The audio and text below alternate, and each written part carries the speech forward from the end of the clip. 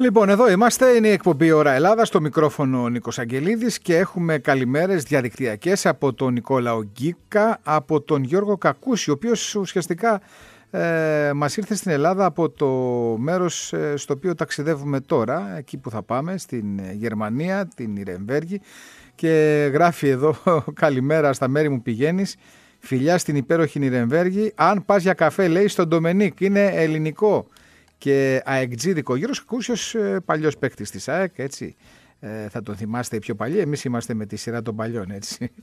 Καλημέρα από τον Κώστα Κακάτσο. Καλημέρα επίσης έχουμε καλημέρες έρχονται από τον ε, Γιώργο Δημητριάδη. Από το Χρήστο Μπακαλάκη που λέει ότι είναι καθοδόν από τα Γιάννητσά προς την περιοχή Σπήλιος Καστοριάς και θα μας ακούσει από ψηλά. Να σε καλά Χρήστο.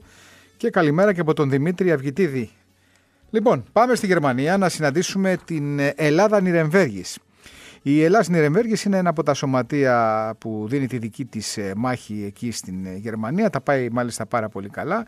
Υπάρχει ένα πολύ καλό κλίμα και ε, εκείνο που μου έκανε εντύπωση είναι ότι διαβάζοντας την εντεκάδα στο τελευταίο παιχνίδι της ομάδας είδα ότι υπάρχουν πάρα πάρα πολλοί Έλληνες παίκτες. Δηλαδή η ελληνική ομάδα της Ελλάδας είναι πράγματι ελληνική σε σύγκριση με κάποιες ομάδες εδώ στην Ελλάδα που με το σταγονόμετρο βρίσκεις και βλέπεις Έλληνα ποδοσφαιριστή.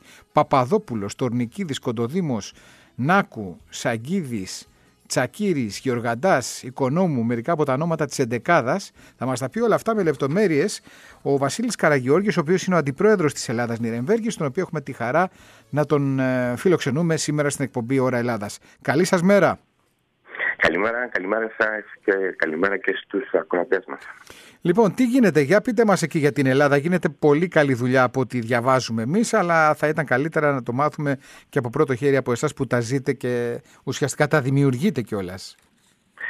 Ε, ναι, τι να σας πω. Εντάξει, η ομάδα, ε, όπως είπατε και, από το, και πριν, ε, ιδρύθηκε από ένα χόμπι. Από, τη, από τον Ντομινίκ ξεκίνησε.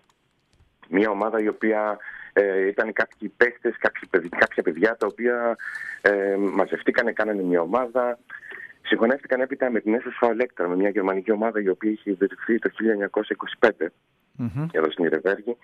Έγινε η συγχώνευση και έπειτα άρχισε ε, η ομάδα αυτή να μεγαλώνει και όσο πάει, όσο πάει δηλαδή, όσο πήγαινε, ε, μεγάλωσε και έφτασε στα σημερινά δεδομένα. Για ποια χρονολογία μιλάμε κύριε Καραγιώργη αυτή η πρώτη συνένωση της Ελλάδας με την ιστορική γερμανική ομάδα που μας είπατε; Από το 2011 ιδρύθηκε το όνομα FC Ελλάς και επάνδρωσε Έλληνες παίχτες και προσπαθούμε από τότε ε, να κρατήσουμε το ελληνικό στοιχείο όσο γίνεται ψηλά.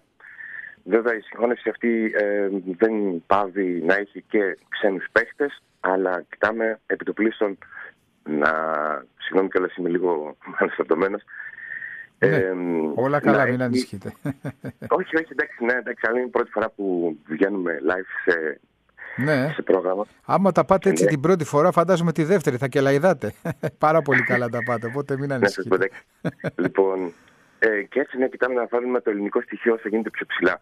Ωραία. Είναι Τώρα, δύσκολο βέβαια ε... στην Ιρεβέργη μέσα να κοιτάξουμε να έχουμε πάντα Έλληνες Βέβαια αυτό αλλάζει με χρόνο με χρόνο, αλλά κοιτάμε όπως είπαμε να έχουμε πάντα το ελληνικό στοιχείο ε, μπροστά. Εγώ είδα στην 11 και μου έκανε εντύπωση και το θεωρώ πάρα πολύ θετικό, θα με βοηθήσετε κι εσείς σε αυτό, ότι υπάρχουν κάποια παιδιά που τουλάχιστον το όνομά τους μου δείχνει ότι είναι τουρκικής καταγωγής.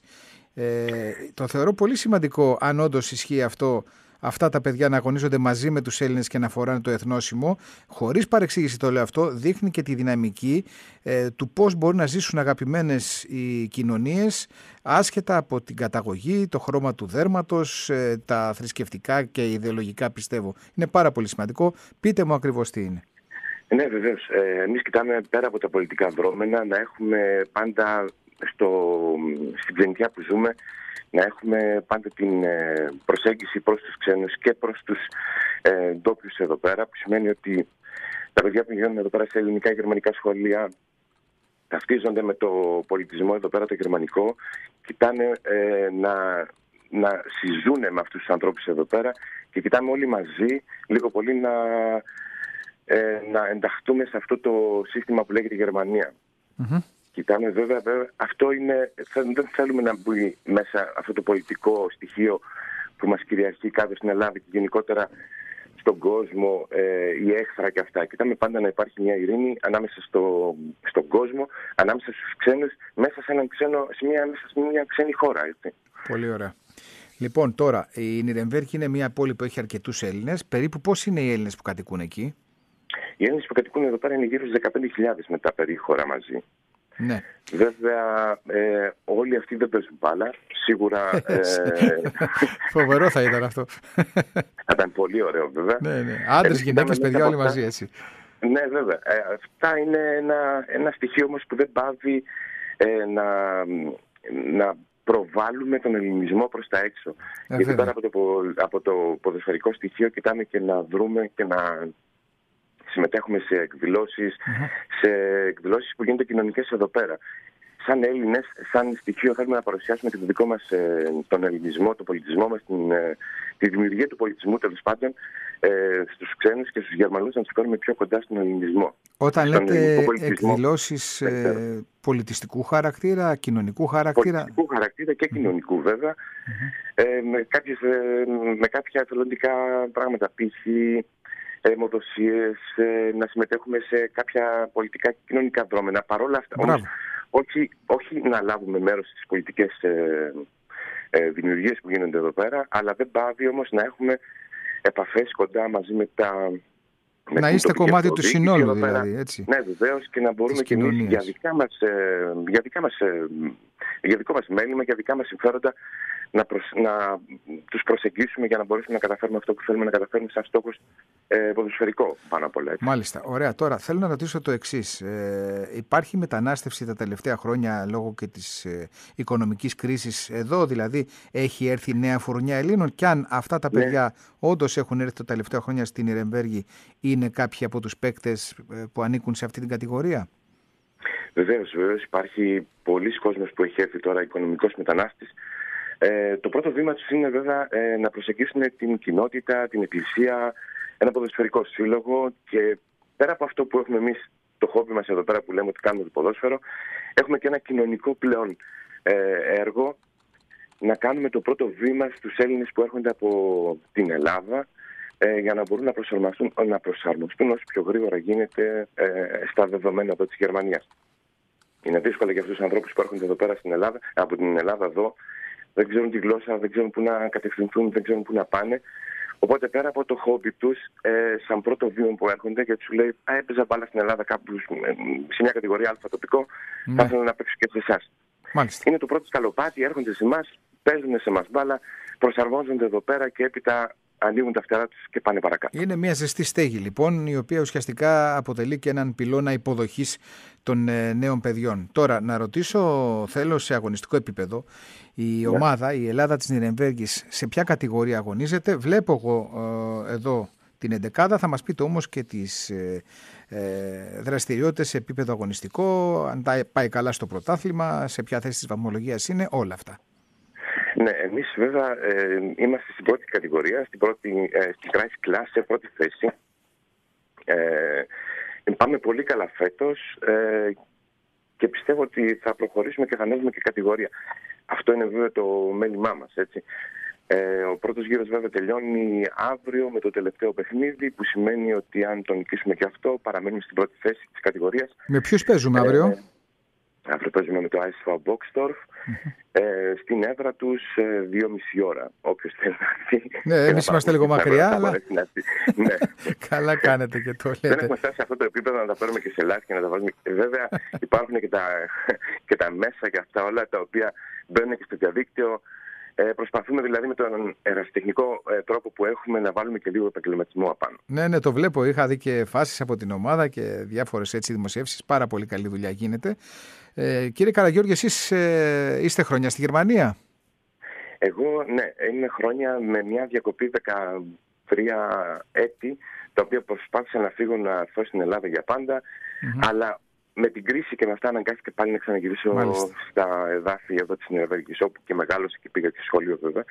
Α, δηλαδή γεννηθήκατε εκεί και ήρθατε κάποια στιγμή στην Γεννήθηκα- Ελλάδα, έτσι. Γεννήθηκα στην Ελλάδα, Α. μεγάλωσα εδώ πέρα. ε, Έπειτα, εφόσον είχα φτιάξει δημιουργήσει την οικογένειά μου, έφυγα με- στη Γερμα- στην Ελλάδα πάλι. Ε, Από εδώ, από αυτό πού ήταν είστε; Το... Από Φλόρινα είναι η καταγωγή Από μου. Φλόρινα, ε. Ωραία, έτσι, Βόρεια Ελλάδα. Κρύο. Λοιπόν. Έχετε συνηθίσει το κρύο και εκεί και εδώ, εντάξει.